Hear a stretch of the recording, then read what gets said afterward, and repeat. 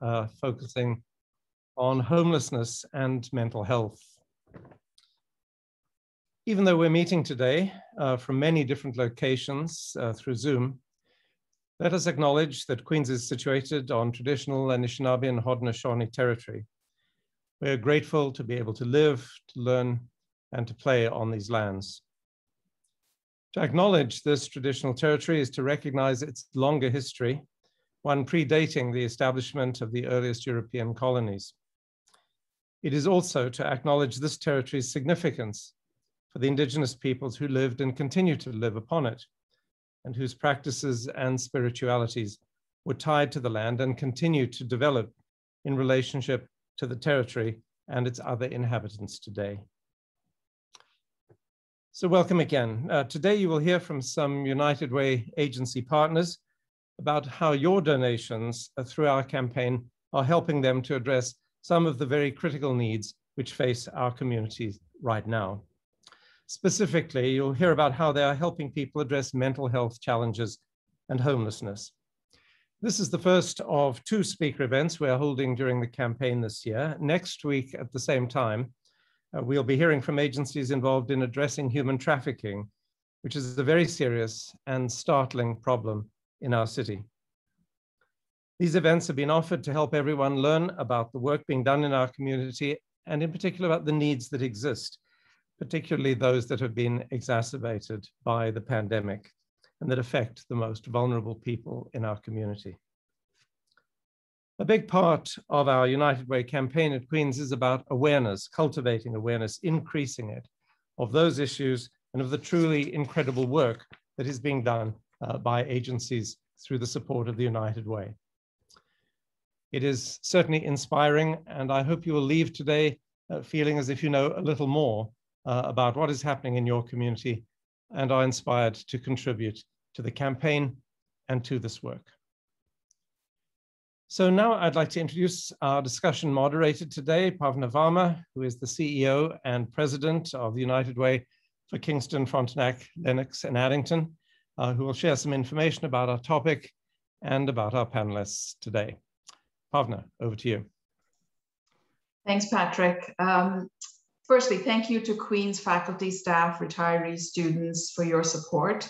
Um, it is one of the largest workplace campaigns in the region. Most importantly, people from Queens are really, really valued in our community for volunteering, for supporting, uh, for helping with some of the wicked issues that we deal with. Speaking of wicked issues, uh, one that's impacting our community and many communities across Canada is homelessness and mental health. Mental health is something that uh, you never know when it's going to hit you. It's all of us at any time. We all know people or ourselves have been impacted by this issue. It's, it's prevalent, it's growing. What's really challenging is for people who don't have a home, people who are uh, without shelter. And that's where we have this amazing group of frontline agencies who work diligently every day, right through the pandemic, to help make the lives of people who are going through these experiences a little easier. It's, it's difficult work, it's challenging work, it's complex work because everyone's path to homelessness is different. Everyone's journey is different, and the solutions need to be different. But what we'll do today is speak with three of our agencies and talk to you about some of the things that they are addressing and their approach to how they're helping people who are in the most vulnerable uh, situations in our community. So uh, again, it's not, sometimes some people will, will respond right away and they'll be housed right away. But some people are really struggling just to deal, to stabilize themselves, uh, to get some supports housing by itself is not the only answer. It's providing the supports to help people be housed, stay housed. So I'm going to introduce you to um, Addictions Mental Health Services of Kingston, Frontenac, Lennox, and Addington, uh, to the Street Outreach Coordination Program through Home Base Housing, and then we'll speak with uh, youth um, homelessness from the youth, Kingston Youth Shelter. We'll speak about family mediation and their role in uh, prevention. So I'm going to start with uh, Carol Ravnaas, who's with who's the executive director of programs at uh, Addictions and Mental Health Services. So Carol, over to you. Thank you, Bhavana, and, and thank you so much, uh, Queen's University alumni and current uh, faculty for this opportunity uh, to speak to you today. those who are homeless are very likely to have addictions, mental health issues. And those with a serious addiction mental health issues are have a much greater chance of being homeless. So is the chicken? Is the egg? It's it is, as Bhavana said, a very wicked problem. And they're complex social issues that are reflective of our fabric of our society and people's access to resources, as well as how we view addictions and mental health. The truth of the people that we see at Addictions Mental Health um, is that they're likely to be poor and living in poverty. They're likely to have very long-standing trauma. They're likely to be very ill themselves. And they quite often have addiction issues. The street drugs that are available seem to be more addictive and more dangerous. And on a, a medical rounds last week, there was a psychiatrist that said that he believes only 10% of them, if they put all their will to it, could quit. Most of them are not able to do that um, on their own and through their own willpower. So these are very challenging individuals to house. They need a lot of support. Um, they need to stabilize and they need to achieve some medical um, balance in their lives. So some of the challenges that we face, um, and again, it's not through, I'm not finger pointing, it's, these are the realities. There's not enough shelter options. The point in time count done by the United Way on April 14th was there were 207 homeless people. And at that point, really affected by the pandemic, but also the overall count is not enough. There were only 67 shelter beds. So there just wasn't enough um, options for shelter. There's also not enough true housing options because shelter isn't the ultimate uh, solution. Finding somebody a place to live is the ultimate solution.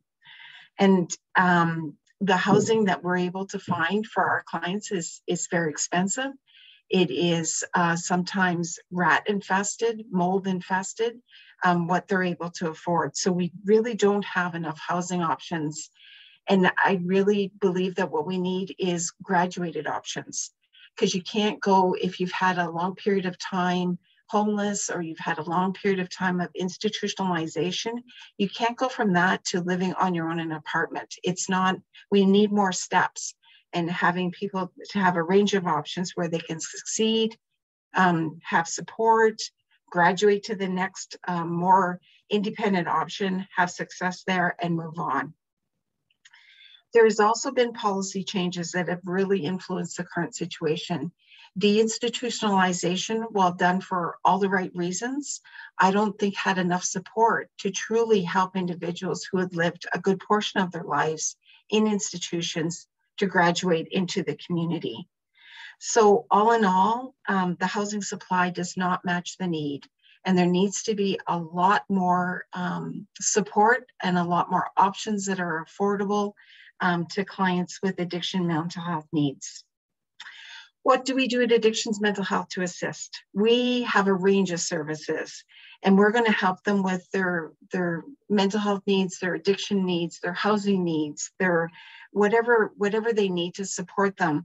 A lot of times it's learning how to live in a house, uh, activities of daily living, how to clean a house, how to create a budget, how to be successful in their housing. We also have access to psychiatry, which is a huge support um, and needed for a lot of the individuals we see. We do street outreach, and you'll hear from Jay uh, shortly. We do street outreach and uh, connect people to care.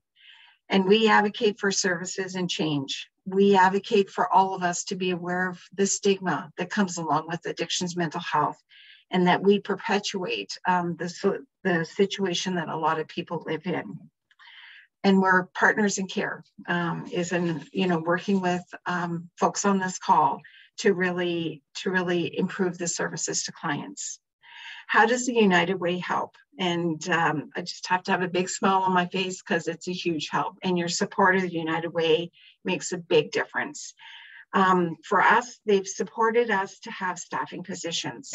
I talked about that outreach. United Way supported a nurse. And when during the pandemic, we've had outreach nurses that go up to people on the street. And when you're a nurse, it's sometimes less intimidating. And we talked to them about COVID and we gave them a cup of coffee and we helped um, to connect them to care. but they've also funded a family support worker, a youth worker, and other workers. United Way helped us with a COVID self isolation center because there's no place for homeless to go. We don't want them going to the hospital to self isolate during COVID if they had symptoms. But we use that self isolation period to connect them to care. And we also, um, the United Way gave supplies. We need things uh, to run the self isolation center to support people at home, and they they gave us those basic supplies. The United Way is a fierce advocate for compassion and care and policy changes. They know the services in this community and they expect us to work together and, and they really work to knit us together. And why don't you go over there? How about the two of you work on this? So they're really a force of integration in a connected community of service. And I just finally have a, just a very quick story. I hope I have time. We had a gentleman that came into the self isolation center, and his feet were absolutely black um, from um, sores and uh, lack of care. They uh, really had no more circulation going to them. They needed to be really, if he'd gone to a hospital, they would have been amputated, is what needed to happen. But this man of, of sound, you know, he was able to, he had the capacity. He said, I don't want to go to the hospital. I don't want to lose my legs. So we kept him and we were able to uh, keep him longer at the isolation center, give him stable food. Um, we did find a physician that would come and treat him. We thought at any moment we're gonna, he's gonna go septic on us. He's, he's, these legs are just not, he's not gonna make it through he did make it through and we actually were able to house this individual um, and honor his wishes of not going to hospital and having amputation while still supporting him medically in the community. That would not have been possible um, had we not had uh, the united way and the support and had we not had the opportunity to really listen and work with this client on what he needed um, and he his course was totally changed um, by that experience.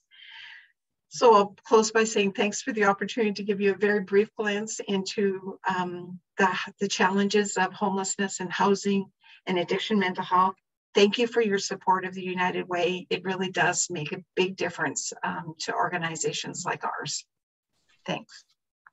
Thank you, Carol. Um, really appreciate all the work you and your team do. I know you deal with individuals who are in the most vulnerable of circumstances and really appreciate the compassion and care that you and your team continue to demonstrate. So thank you. And speaking of compassion and care, Jay, I know you and your team do an awesome job with the street outreach, so I'll hand it over to you. Hello, everybody. Thank you very much for uh, joining us today, and thank you to the United Way uh, for uh, assisting us with funding to uh, support the individuals that Carol had expressed. Um, thank you to all the Queen's uh, staff and alumni who uh, continue to support United Way. Um, it is definitely needed in our city. Um, I'm sure most of you have noticed the increase of individuals who may be homeless in our city and, and around town. Um, during the pandemic, those numbers have increased. Um, so here at Home Base Housing, uh, our street outreach team is really focused on trying to connect with those individuals that are outside on a daily basis with nowhere else to go. Um, as Carol had stated, they are uh, shelter systems are already full. Uh, there is not a lot of housing available, and individuals are not there. They're not willing to take any type of housing because, as Carol has stated, the housing is inadequate. Um, so our job is on a daily basis to make sure people have their basic needs, to make sure that they're fed, to make sure that they know that services are available to them to find housing, to find support, uh, to find something that might be meaningful to them rather than sleeping on the street. Uh, we have three staff here that do uh, seven days a week of street outreach. Uh, and what we've really noticed is, as Carol stated, the majority of the clients that we work with uh, are not looking for housing because they are so deep within their drug addiction or their mental health has gone unmedicated for such a long time that they they they disassociate that they do have a mental health issue. Uh, so it's very hard to try to have conversations with individuals about housing when the main focus on a day would be to find the next available drug or you know they're so unwell that they they don't understand that living on the street may not be very conducive to their well-being. Uh, so we really focus on trying to make sure that people uh, know that there are other options available. Uh, we do advocate strongly uh, to the city uh, about the issues that we see every day. Um, and we're trying we're trying to make a difference in individuals' lives, even if it's just a small little bit. Uh, we do provide harm reduction supplies as well, uh, because we do know that clients are going to use, and we want to make sure that they are safe. Um, one of the questions that says is, you know, what your agency does to help people with mental health and addictions. We are not the experts, but we do deal with mental health and addictions on a daily basis. We do the best we can. We call on our partners from AMHS and other organizations to assist us when uh, a client may be having a mental health crisis. Um, but we are not there to push the mental health um, programs or the housing programs on these individuals. We are there to create relationships, to create um, a sense of community among the homeless individuals so that they can feel welcomed in the general society um, it, it really is difficult for individuals who are walking around downtown pushing a shopping cart to feel as though they belong in the city. And I think it's very important that we all remember that they are still a citizen of the city of Kingston, and we need to be treating each and every one of us as we would want to be treated. Um, how is the United Way dollars um, assisting us here at home base? Well, thankfully, United Way has um, provided funding for a street outreach uh, case manager uh, whose focus really is on connecting individuals to service. Uh, it's allowed us to be able to uh, provide service seven days a week, uh, which we were not able to do with one staff.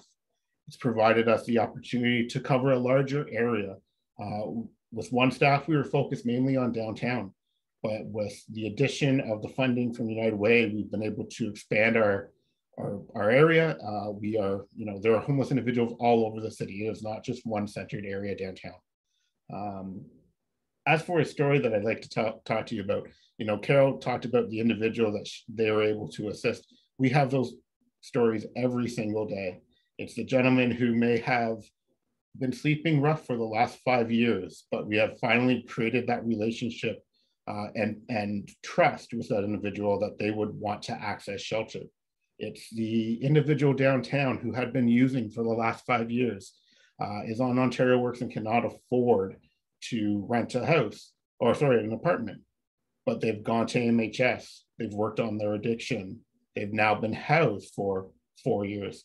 So it's really about those little small moments when you know that you've really helped somebody, even though it may not be the end goal. It may not be housing, but it's getting them the connections and the support and services that they need in their moment. And uh, United Way has been a great, great partner. Um, and uh, we appreciate everything that they do. And we appreciate everything that anybody who has provided a donation to United Way because it does make a huge difference in our society. Thank you. Thanks, Jay. Um, I really appreciate that. And I should have mentioned also that in the point in time count that Carol referenced, uh, we did find that 30% of people who are homeless identify or have Indigenous uh, uh, heritage. So we are uh, just introducing a new program with an Indigenous worker, uh, working closely with Jay's colleagues, uh, case manager who will be downtown. And we're hoping to introduce indigenous programs in every uh, agency that serves people who are homeless because that is a critical issue. And Jay, you mentioned a sense of belonging. I think one of the things that the United Way strives for with all your help is to help people in our community live with hope, dignity, and a sense of belonging. And you certainly bring that to the work you do. So thank you. Uh, our next speaker is Vivienne Parent, who is with Kingston Youth Shelter.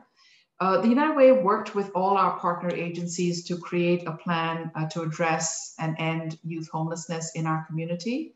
One of the things that youth told us, because we engaged a lot of youth to try to understand the issue better, they said that the number one reason they were homeless was family conflict.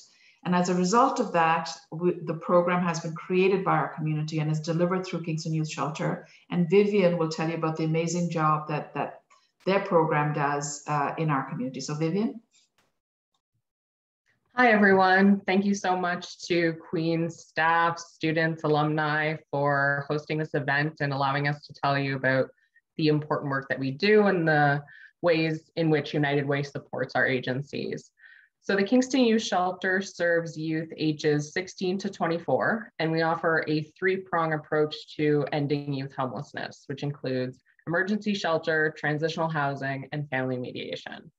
And our emergency shelter and transition homes are wonderful and they help youth that are already homeless, but family mediation is different because it aims to prevent homelessness. It's our one proactive approach.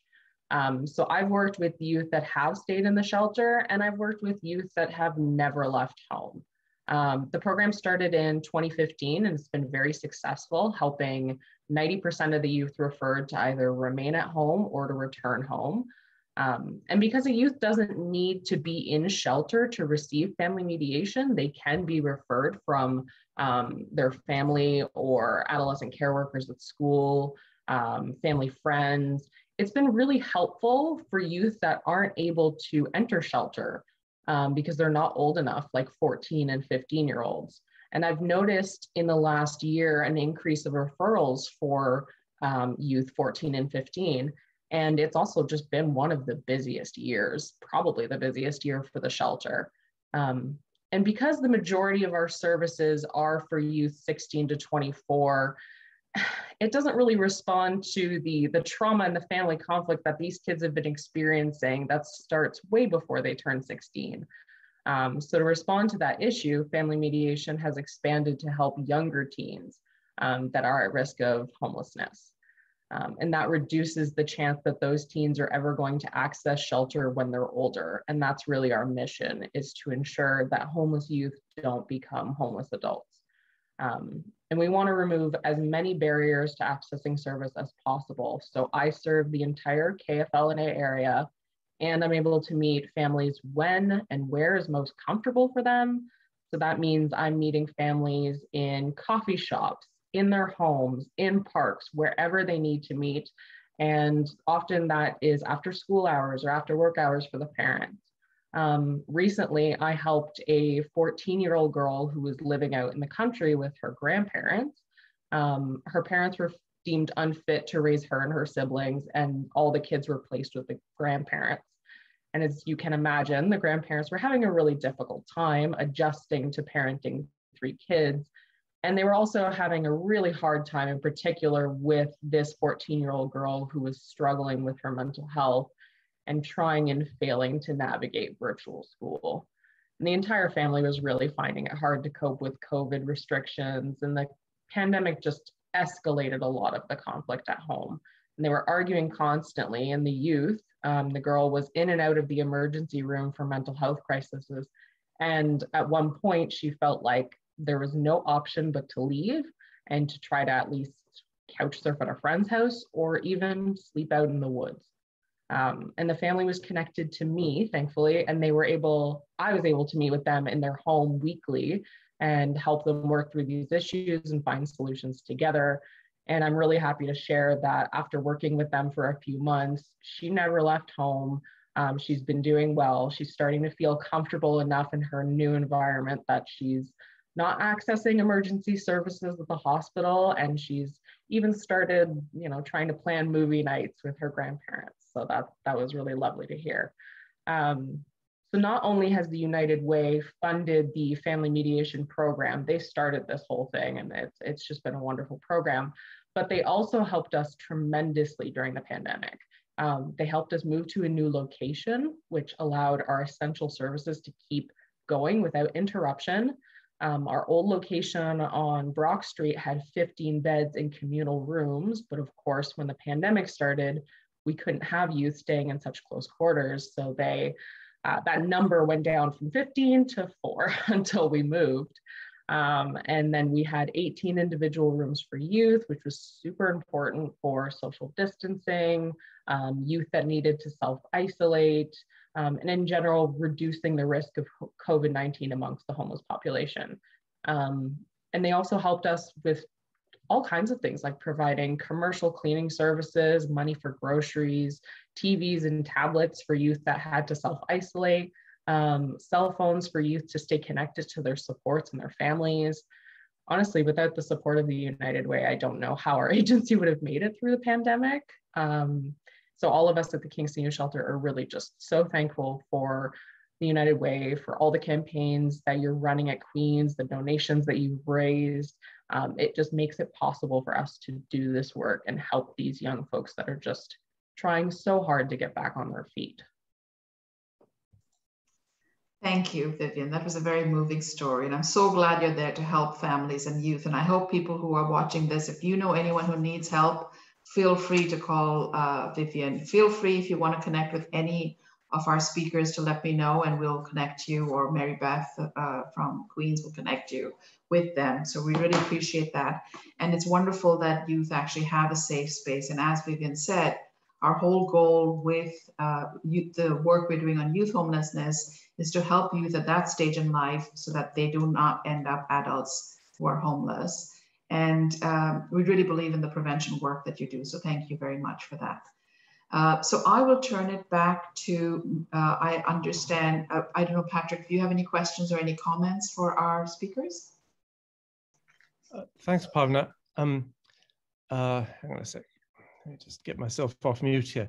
Uh, thanks to all three of you for those really in inspiring talks. What, what struck me listening to you is how interconnected these problems all are. You know, your organizations are dealing with, you know, particular manifestations of a broader social uh, challenge. And I was just wondering about um, the extent to which you're able to coordinate. So I can see that the, the United Way has provided specific help. Um, and I, I, think, you know, from where I sit uh, on the United Way cabinet, I think of the organization as being a point of confluence, right? There's a, a, a, place where these concerns come together. Can you just talk a bit about how you how you work with each other to to address uh, these challenges? Because they really do seem to require a collaborative, complex set of solutions, which are really difficult to deliver when you're challenged in so many ways from a staffing point of view, a logistic point of view, and, and so on. Just interested in your thoughts on on how you know how the parts add up to a really really effective whole uh, in our community. Carol, go ahead. Thanks, thanks for the question because it is very complex, and these are individuals with uh, multiple needs. Uh, two things come to mind as I let my co co-panelists think of other other things to add to my answer. Um, one would be we purposely integrate care. So I think of Jay's program in the outreach. The addictions mental health team visits with them, and uh, Street Health another provider. So we try to be very purposeful about uh, being present together as we help with clients um, or pulling each other in as that becomes necessary and evident. And we have a, a youth case manager that works, I, I, think he's now almost exclusively at uh, the youth shelter or spends a good portion of every day there, again, to try and support the work um, that is done there. Uh, the other, so that that kind of you know, just being very strategic about how our teams work together. The other thing that United Way, though, has done um, is, is this whole problem of homelessness and housing and insufficient housing. Um, Bhavana and uh, actually Susan Stewart from the health unit have pulled together a collective impact uh, group to really, as a community, with political, with um, municipal, with social services, with health, um, you know, regional reps. Um, this is a very wicked problem, and we need to think about solutions. So they pull together a group that's going to really come up with solutions and and uh, have our collective voice see those put into action. Thanks, Carol. That's that's extremely helpful to know. Yeah, collective impact action is, is clearly what's needed. Yeah. Vivienne or Jay, any, any comments? I can. I, would love to add to what Carol had said. Um, I think we all know that working in silos in this type of field doesn't work. Uh, before 2015, before the city brought out their 10-year um, homelessness plan, um, we really were working in silos. Um, but with the addition of United Way, um, we've really known that working together is the only way we are going to make a difference. And it is really great to be able to call on the experts. Again, I've stated before, we are, we are not mental health workers. We do deal with mental health and addictions every single day, but to have our partners at AMHS who do work with mental health and addictions on a daily basis be readily available to support us, to support the clients, it, it, it's it's it's so it's so important. Um, and then you even look at the youth shelter. I know uh, Vivienne and I probably have not actually met, but I can I can tell you that both of our agencies are working diligently together to support youth. Because we it is true Vivienne has stated the moment they become homeless and they join the adult shelter it's just another barrier to them to becoming housed. Uh, it is a, a vicious cycle that continues. So being able to work together collaboratively not only with united way partners but with all partners throughout the city uh, who deal with mental health and addictions and homelessness. It has to happen, or else we will never find the answers uh, and never find a solution. Thanks, Jay. Vivienne. Yeah, I just I just like to add that I I wasn't uh, in this role before when it felt more like we were all working in silos. Um, I came into this and it immediately felt very collaborative um, with the committee that we have at the United Way and all their uh, agencies that they fund. Um, it's always just felt like all of Kingston and all of these agencies are all working together to like help all of these individuals and I don't think a day goes by without us, you know, reaching out to a community partner to get some help with with an area where we're not experts, and we really do need to connect uh, youth to these services, and we're all just working together to lift up these these youth. So, thanks, for Vivienne. This is uh, very encouraging. I, it looks like. Uh, do we have a question from Patricia, Mary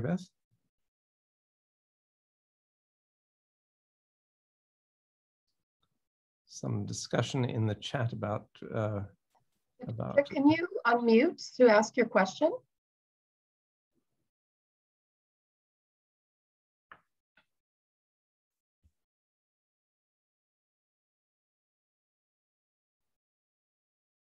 You're not able to do it uh, for Patricia, are you, Mary Beth? No, unfortunately, I, I can't. So Patricia, if you could unmute to ask your question or put it in the chat.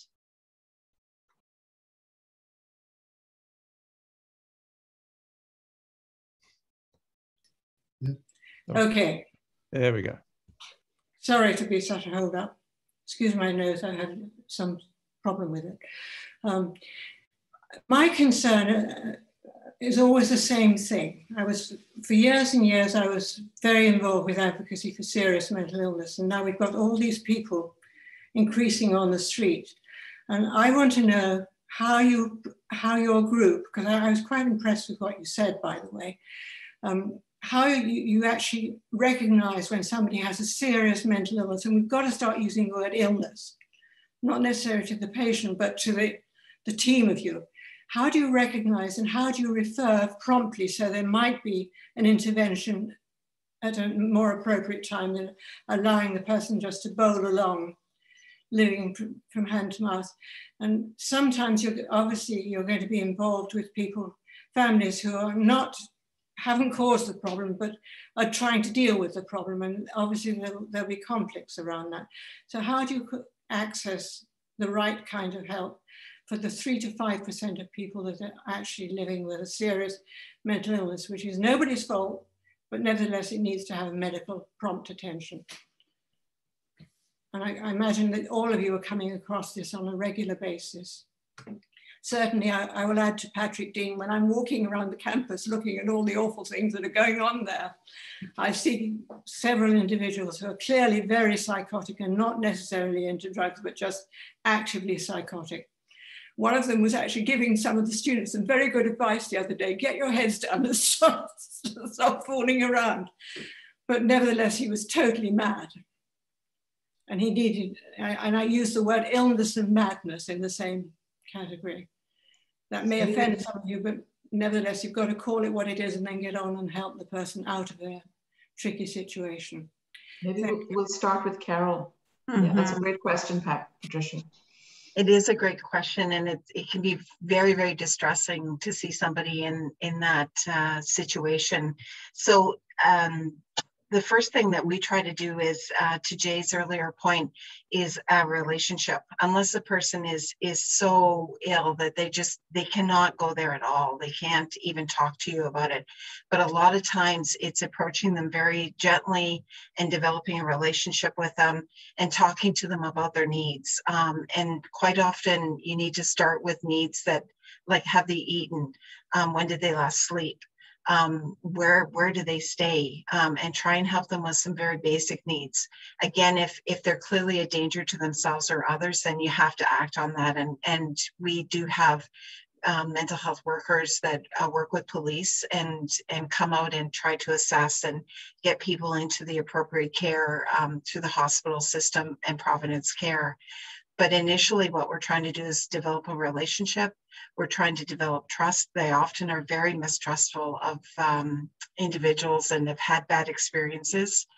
Um, we try to uh, facilitate an access to um, psychiatric care and we are so fortunate now to have four psychiatrists uh, working with our organization through a relationship. It happens to be with Queen's University um, and Dr. Claudio Soros, um, Kingston Psychiatric Partners, because they really do need to have somebody um, assess them from a psychiatric point of view.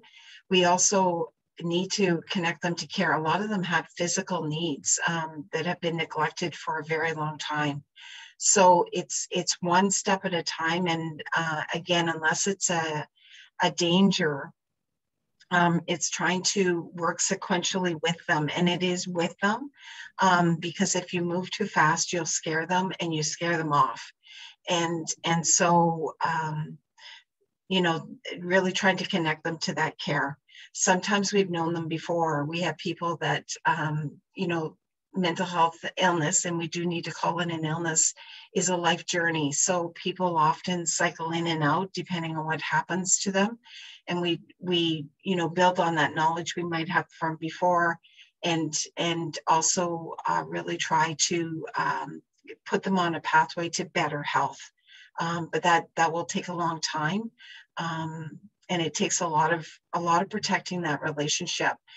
Um, the other thing that I would say, and, and, again, it's thanks to United Way, we have a family support program that wasn't in place um, before last year because it's very distressing for families and they're trying to figure out how do I help, how do I support.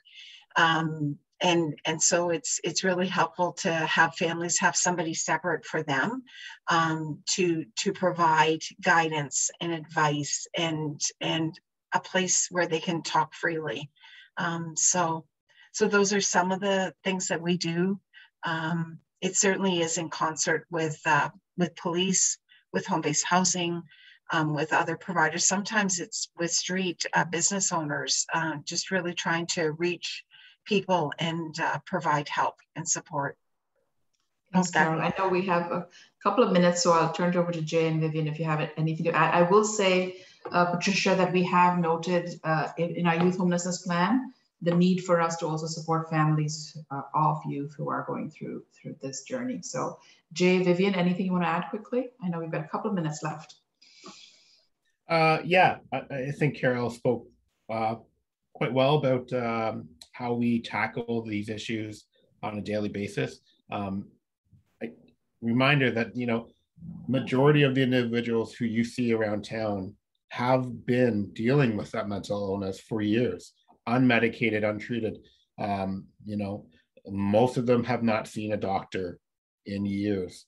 So it really is trying to create that relationship and, as Carol said, trust in the services that are available to them, that we are there to do something, you know, well for them, to support them, walk through those services, to to get them to a better spot in their lives. Uh, but it really does start with just treating them like a human being. Um, one thing I did want to say uh, to Patricia's question was you know, there's not a lot we can do though when it comes to pushing an individual or supporting an individual to access those services. Services are voluntary, um, you know, and if th- that individual is not hurting themselves or somebody else in the moment, there's not much we can do to support them if they do not want to be supported. Uh, the Mental Health Act, although it's there, very difficult to put in place by the police when an individual is, is unwell um, or is having a mental illness crisis. Um, you know, unless that individual is actually harming themselves or somebody else in the presence of a police officer, there is not much the police can do. Uh, so it is very difficult to get somebody assessed at the hospital. Very difficult to get somebody to trust us uh, to connect them with AMHS. Uh, we do our best. AMHS does their best, but again, it's voluntary. So we just do the best that we can. Thanks, Jay. Uh, Vivienne, one quick comment, and then we'll hand it back to Dr. Deane. Yeah, Jay and Carol said it very well. Um, we see a lot of people with serious mental illness at the youth shelter, um, and it's mainly working on that relationship, getting them to trust the staff that are here, and making sure that we take care of those basic needs as well. You know, they have a place to sleep that's safe, uh, that's comfortable, they have access to food, they can, you know, take a shower, take a bath, like all of those things are just so important for really boosting someone's um, mental health and also their trust in an environment and in the staff that are there. So that's how we're we're helping them and just trying to encourage them to access those services and and supporting them when we can. Thank you. Patrick back to you uh, thanks Bhavana and uh, thanks again to uh, to uh, Vivienne and to Jay and to Carol, uh, a really, really engaging conversation today. I think that that last point Jay made, which you've each uh, elaborated upon, really brings home the challenge of this work. It is one thing to support individuals who know what support they need um, and are eager to reach out and and and secure it, it's an entirely different thing to provide supports to individuals who have who, who don't understand the need for the support and what is in their own interests. So I, I really greatly admire the, the work you do for just that reason. The, there's, there's, there's no more difficult thing to do, and the stakes are extremely high um, for these individuals and for all of us. So thanks, thanks uh, to all, all, three of you, and thanks, uh, uh Bhavana, uh, for, for joining us today uh, for this session. Uh, I just, in closing, would like to make the point that Queen's historically has been extremely generous in its response to the United Way. We are a leader within the overall United Way campaign, and we have this year a campaign goal of $425,000, which is just over 10% uh, of the entire community campaign goal. Um, we're the largest uh, workplace and retiree campaign in Eastern Ontario, and uh, we can be proud of that uh, and grateful to everyone who has contributed uh, and supported the United Way through this campaign so far and in past years. And we thank everyone in anticipation of their continuing support for the kind of exemplary, valuable, and indispensable work that our, our, three guests and their agencies do for our community. So thank you, everyone. Uh, and uh, we'll, uh, we'll look forward to, to having you join us next week uh, for the second of these, these sessions. So thank you very much again. And I hope you have a great afternoon.